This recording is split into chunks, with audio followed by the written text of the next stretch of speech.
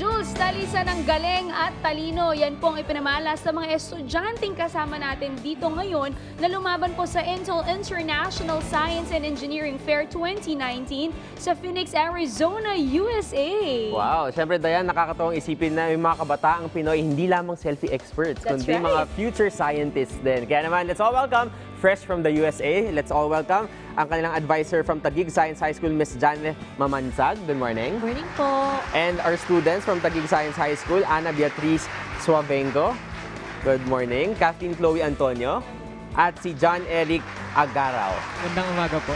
First of all, welcome to Bagong Pilipinas and congratulations for Thank representing the Philippines. Yan na naman isang pride and honor Mm. na naman ang ibinigay nila sa ating bansa. But first of all, I'd like to ask, how was your experience so far dito sa Intel International Science and Engineering Fair 2019? Actually, it was fun and overwhelming po at the same time. Mhm. Um, then, fun and overwhelming at the same time to the point that we can actually say that um, we are very privileged to be there.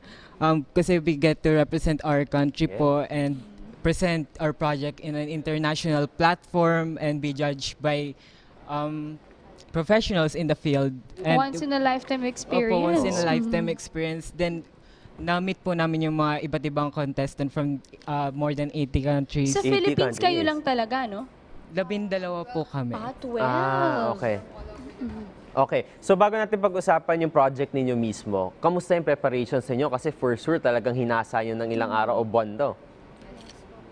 So, um, since nasa life science category po Mhm. kami, and yung school po namin, uh, hindi, uh, wala po siyang necessary laboratory facilities po to conduct the experiment. Okay. So, nag-collaborate po kami sa um, Institute, Institute of Science and Technology Research, tapos sinupervise po kami ng qualified scientist, si Mhm. Professor Gary Antonio Cilirio, and then, ayun po, doon po sa lab, natutunan po namin lahat ng kailangan naming malaman about Mhm. microorganisms, Okay. about um, plants.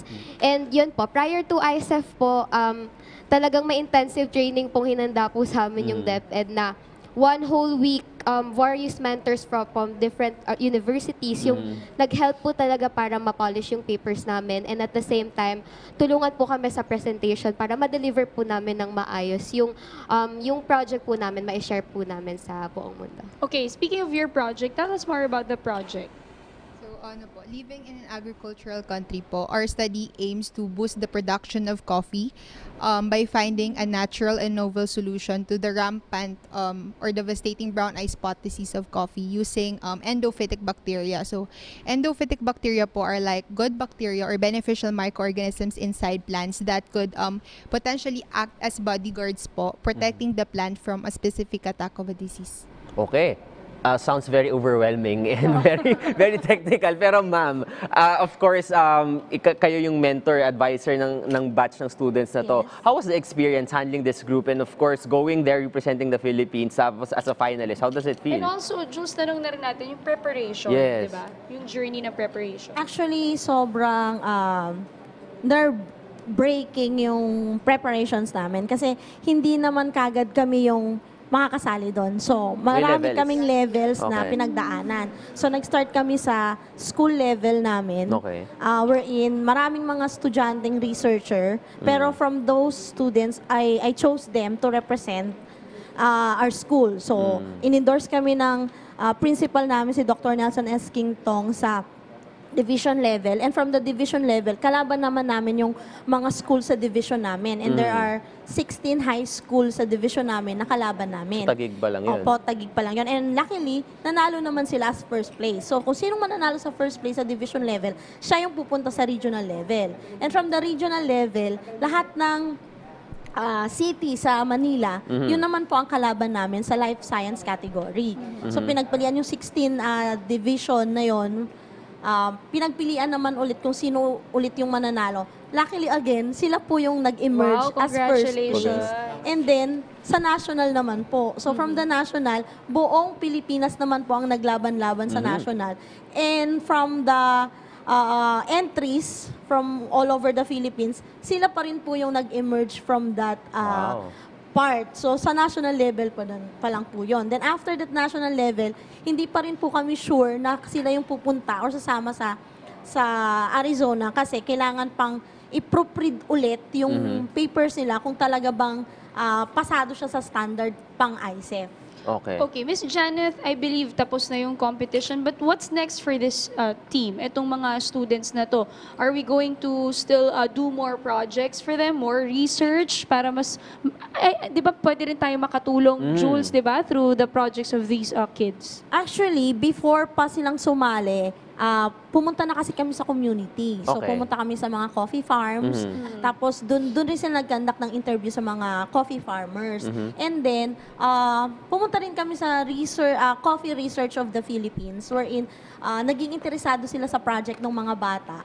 Tapos, ah, nagkaroon ng instance na gusto nila na if ever na gusto nang ituloy ng mga bata yung mga projects nila, pwedeng makipag-partner sa re- ah, Coffee Research of the Philippines. Wow, so, may commitment ng may binigay. commitment. So kaya nga sabi nga ng mga bata, win or lose, Mhm. meron pa rin pupuntahan yung purpose na gusto That's nilang ah, i-pursue. Tsaka yung magandang to- take-away ko dito, nilubog nyo talaga sa community Oo, yung paper. Kasi talagang iba very we go down academic, to talaga. them. the research lang, pero kayo pumunta, Pumunta kayo po mismo sa talaga, community. Nag-interview, Okay. tapos inalam talaga namin kung ano po talaga yung problem. Mhm. Alright, maybe before we end, any advice that you would like to give sa mga students din na aspiring maging katulad ninyo? Ah, Um, para po sa akin, sa mga um, Filipino students, um, don't be afraid to challenge yourself po. Um, try nyo yung lahat ng bagay kasi uh, dun mo malalaman kung saan ka, tala- ka talaga nag excel And um, yung research, hindi naman talaga siya ganun nakakatakot. Uh, just as long na alam mo yung purpose nyo po, alam nyo po kung, kung sino po yung, um, yung mga beneficiaries na talagang matutulungan ng research nyo, talagang um, um, talagang may mapupuntahan and makaka-contribute sa society po. Ako po, I just wanna share na hindi naman po ako yung student na best in science, best in math, statistics, or even in academics. Um, average student lang po ako. But what made me qualified to be part of the Philippine team is my passion, commitment, um, determination, and my faith in the Lord. So I hope um, itong testimony ko will serve an ins- as an inspiration to the young students out there na natatakot i-pursue yung science. Mhm. Ako naman po, in our school, in schools po kasi, research is a compliance. Pero ang message ko lang po sa mga kapwa ko is, um, kahit ganun yung ano, turing sa research, sa compliance lang siya, ganun, parang gamitin pa rin ng mga students na yun as a ground para pag-aralan yung mga bagay na they are interested Mhm. and passionate about. And also, ayan nga, yung, kasi yung research, hindi naman po yung basta-basta ginagawa. So, kailangan fully committed ka kasi it's really hard to make sense out of something if you're you're you're really not into it. That's right. Alright. Maraming maraming salamat again. Congratulations and may you continue to serve as an inspiration lalo na sa mga kabataan Mhm. ngayon. Di ba? Ang ganda Yes. nung nangyari sa kanila, eh, no? Hindi lang basta project and ano, requirements sa school pero nakatulong pa sa community. Sana ma-implement nyo yan soon and we're looking forward na ma-cover din yung story ninyo. Thank you so much. Muli nakapanayam natin mula po sa Taguig Science High School ang kanyang advisor, Miss Janet Mamansag at ang ating mga students, Ana Beatriz Wavenco, Kathleen Chloe Antonio at John Eric Agaro. Thank you so much.